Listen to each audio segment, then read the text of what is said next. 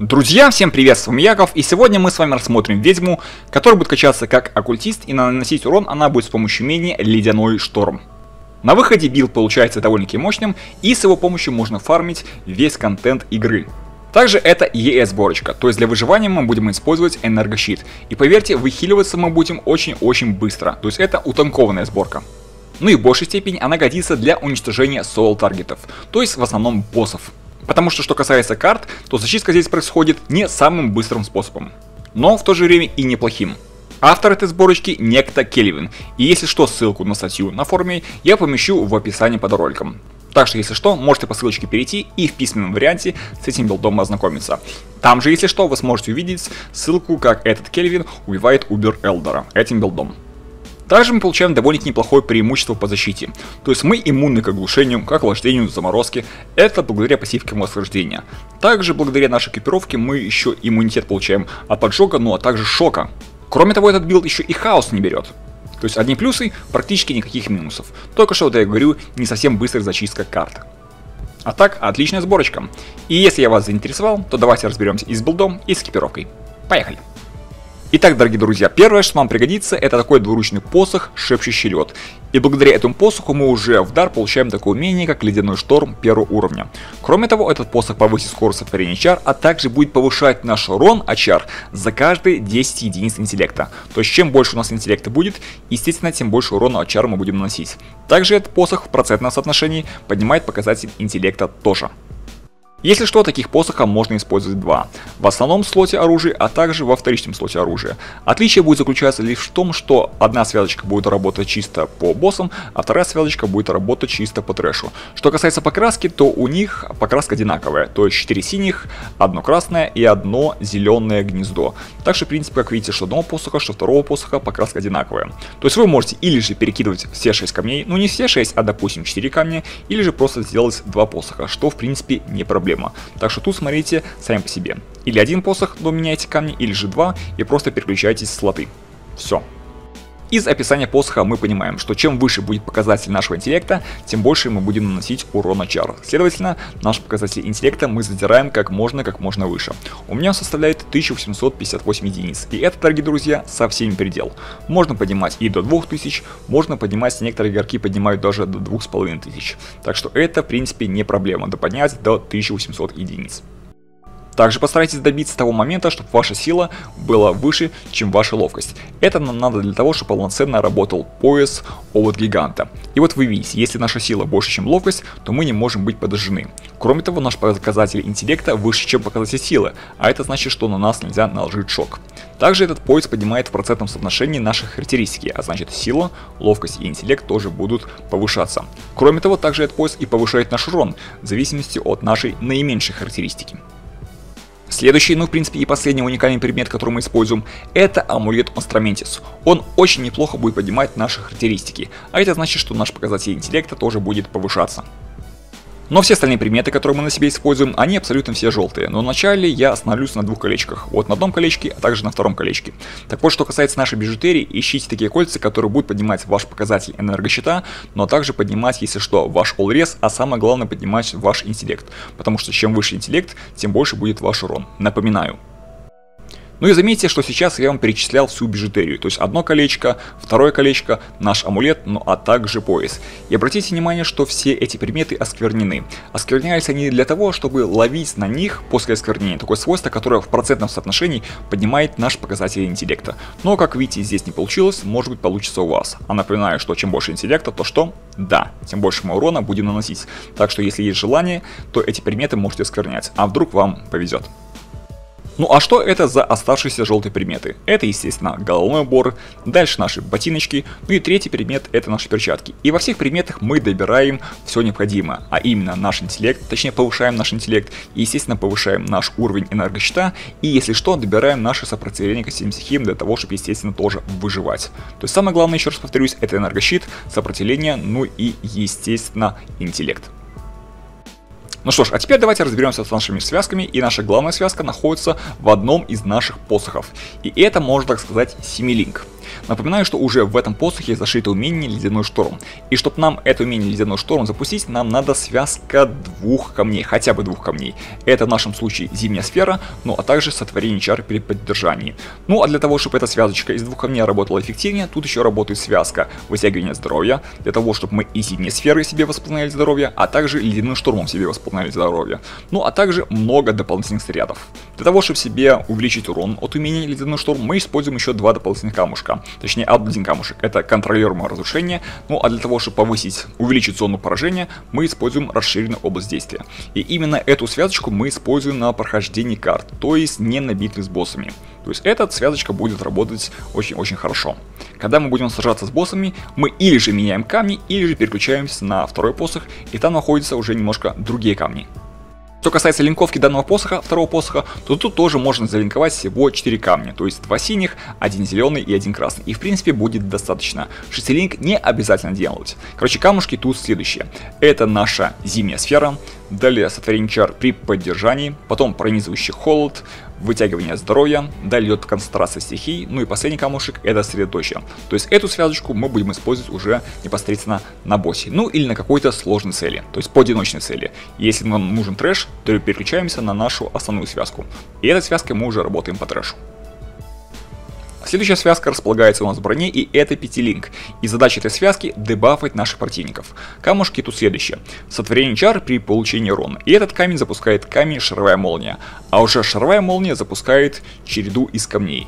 Первый камень это ослепление, то есть мы будем ослеплять противника. Следующий камень это проклятие при попадании, а проклятие при попадании будет запускать камень слабость, что тоже будет ослаблять наших противников.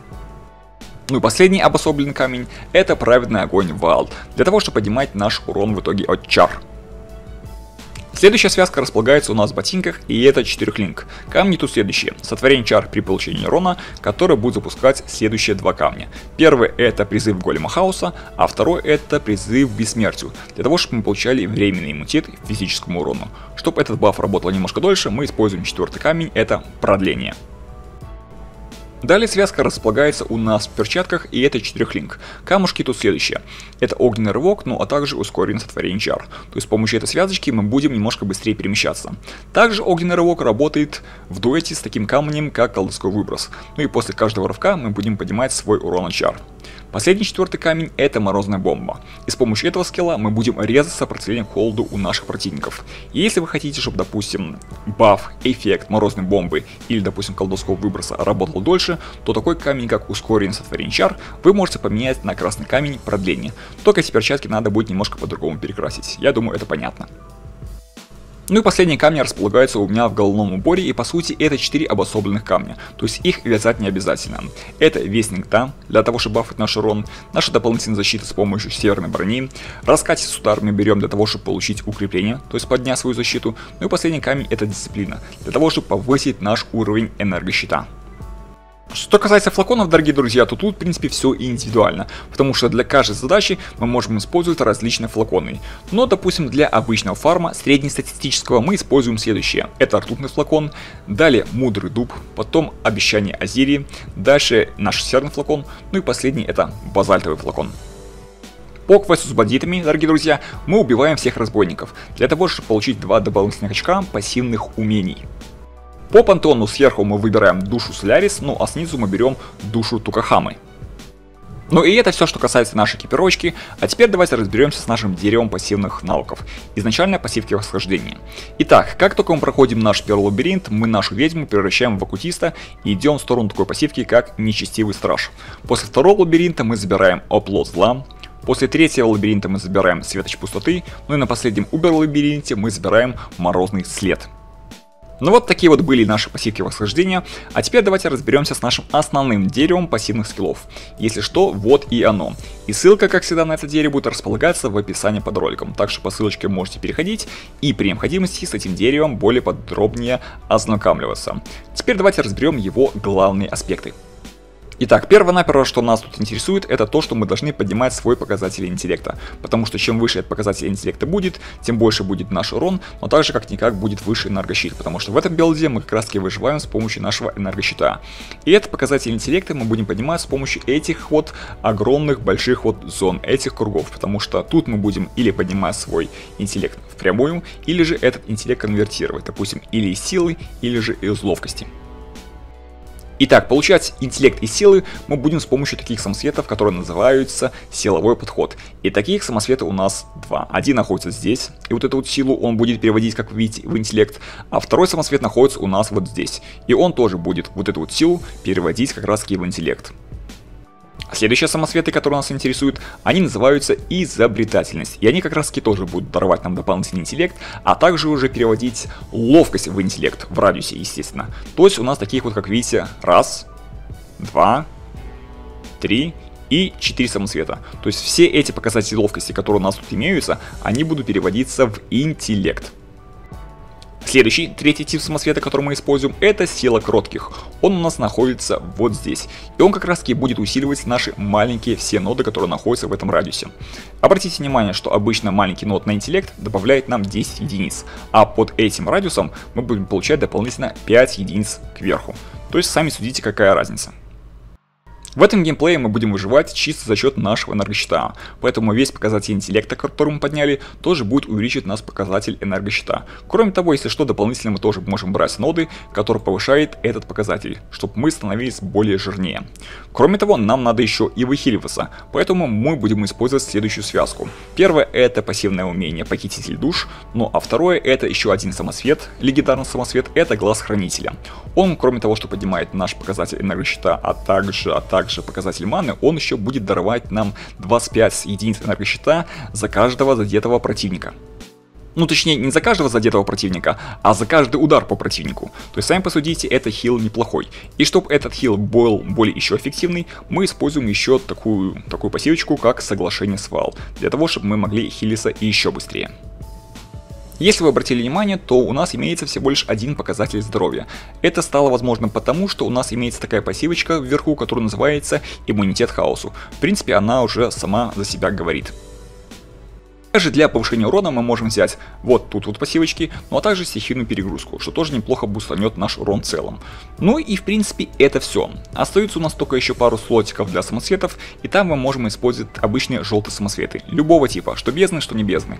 Главное, если что, поднимайте свой показатель интеллекта с помощью этих самиков, а также, если что, свой урон, ну и если вдруг вам чего-то не хватает, поднимайте еще и сопротивление ко всем стихиям. Вот и все, что касается этого дерева.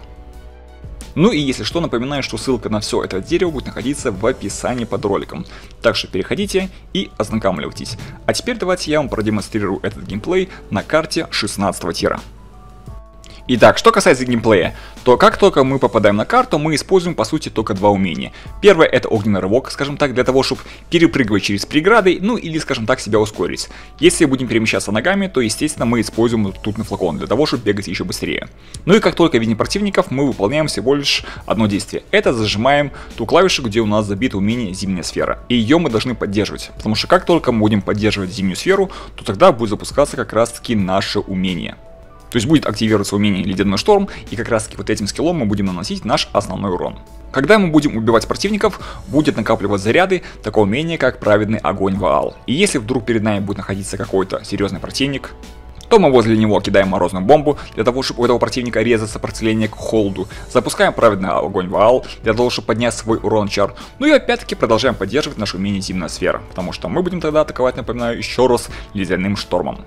Если так будет получаться, хотя маловероятно, что вы будете довольно-таки сильно отгревать, то вы можете еще использовать расчетливый удар. Потому что как только вы запустите этот скилл, вы будете запускать еще и укрепление, а значит тоже будете получать меньше урона. Что касается фласок, то тоже прожимайте по ситуации, чисто для того, чтобы бафнуть свой урон, а также защиту. Но что касается битвы с боссом, то естественно мы переключаемся на наш второй посох, Самый идеальный босс для нас это тот, который неподвижен, то есть статичен. И что мы делаем? Естественно, подбегаем к нему вплотную и начинаем атаковать нашим умением Ледяной Шторм, поддерживая, конечно же, Зимнюю Сферу. Кидаем под него нашу морозную бомбу, ну и запускаем, если мы настакивали это умение, праведный огонь Vaal. При этом раз в 12 секунд атакуя босса расчетливым ударом, чтобы запустить укрепление. Но флаконы поджимаете по ситуации. Вот, дорогие друзья, весь такой простой и незамысловатый билд. Но, правда, хотел сказать о одном но, потому что я вначале сказал, что этот билд не имеет практически никаких минусов. В этом билде есть минус, и этот минус, наверное, довольно-таки огромный. Дорогие друзья, если вы являетесь обладателем железа, на котором PoE идет с трудом, то этот билд вам просто не подойдет, потому что если вы его соберете и попробуете атаковать противника этим умением, даже не то что атаковать противника, а просто запустите это умение в вашем hideout е, у вас может железо стать колом, потому что анимация данная сборочка выдает прям не маленькое количество. Ну, в общем, если вам интересно протестировать сборочку, запускайте. Если вам интересно протестировать свое железо, опять-таки запускайте. Ну и напоминаю, что ссылка на первый источник находится в описании под роликом. Что вы думаете об этой сборочке, пишите в комментариях под роликом. А я с вами прощаюсь, благодарю за внимание, за просмотр и желаю удачи в фарминг